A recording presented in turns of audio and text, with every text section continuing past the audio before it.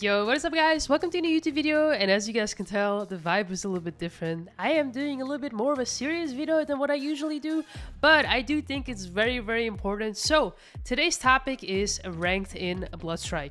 Now, ranked in Bloodstrike can be significantly improved in my opinion. I think the ranked system in Bloodstrike is not good and I'm gonna tell you guys why I think it's not good, but I'm also gonna be proposing some solutions and some improvements that I think could be made.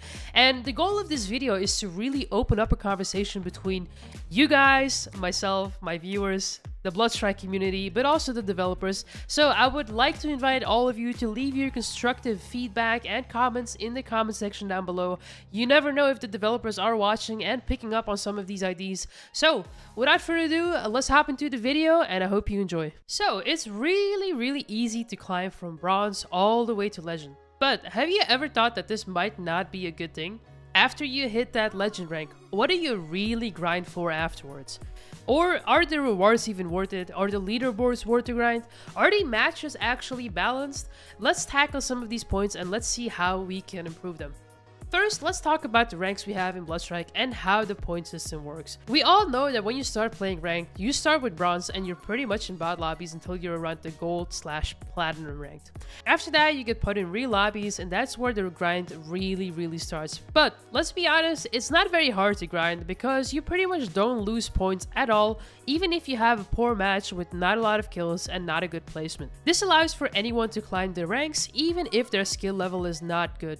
This exact system actually allows very bad players to get into the legend lobbies, which is the highest rank possible. Having bad players on the highest rank possible is not a good thing because it makes teams unbalanced and it makes the solo queue experience insanely bad. I very often solo queue myself and I'll be lucky to have teammates that can really handle other players on their own.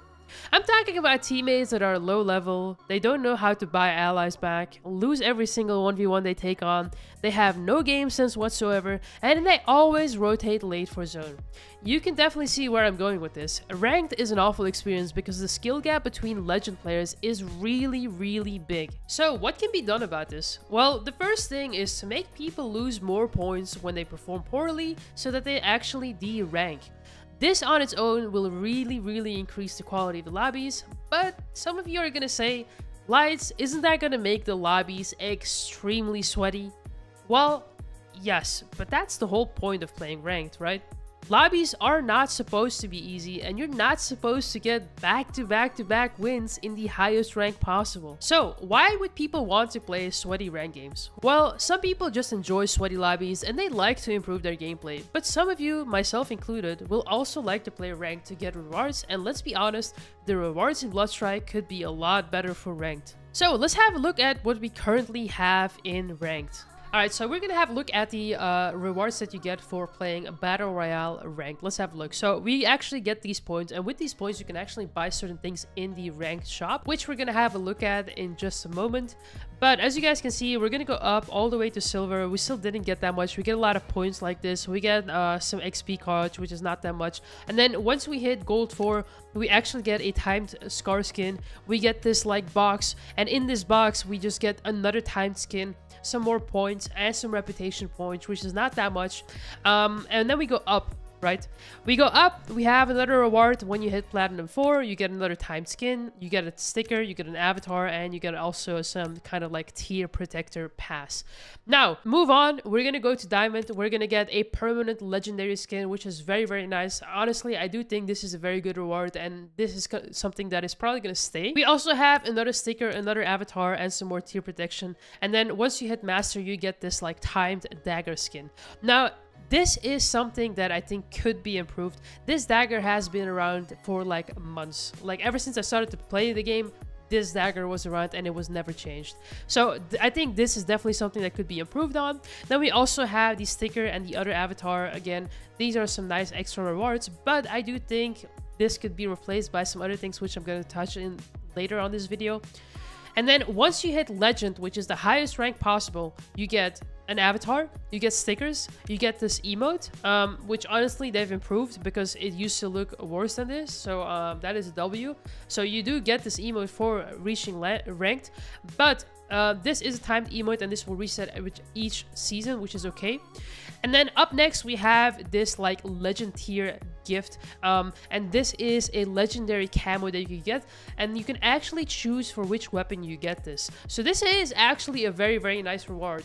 But again, I'm to touch later on this video of what I think should be really, really done with this because I do think this should also go per tier. So overall, you do get a few things. You get a legendary camo permanently unlocked and then you also get a permanent legendary skin on Diamond 4.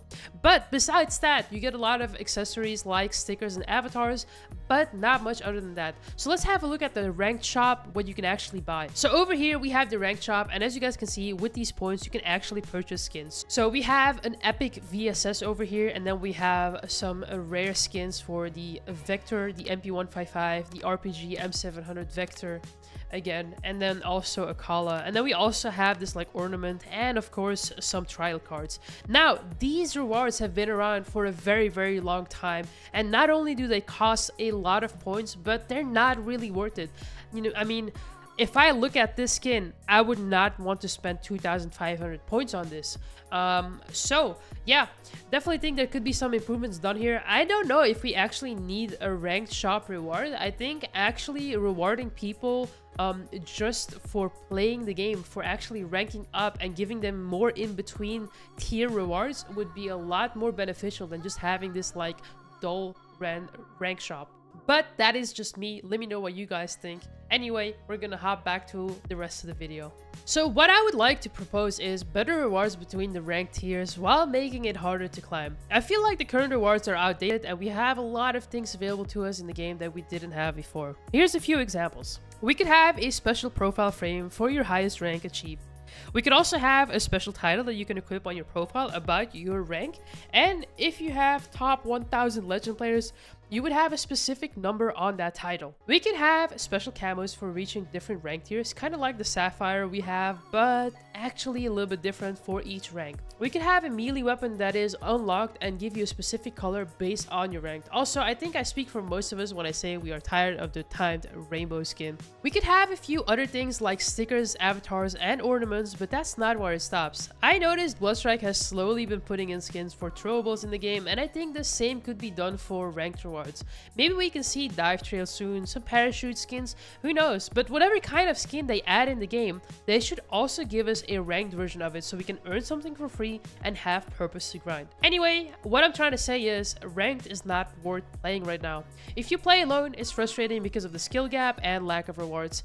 Improve the skill gap, give us better rewards, and I honestly believe Bloodstrike rank could reach some next level heights. There is a lot of other talking points that I can talk about, but I want to give the microphone to you guys, my viewers, and the Bloodstrike community. What changes would you like to see in the rank system? What do you think is good? What do you think is bad?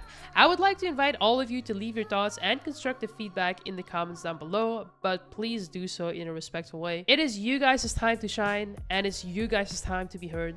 As always, I want to thank you guys for watching this video, and I'll see you guys very, very soon. Bye-bye.